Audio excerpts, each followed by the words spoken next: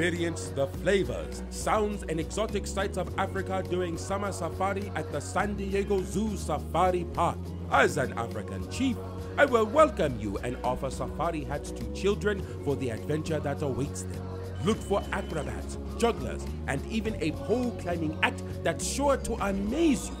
Get close to our animal friends. Take part in an African drum circle or the song and dance performances of a kaya. Watch our cheetah dance to the finish line. Join us for happy hour, safari park style, with fresh grilled kebabs and signature drinks.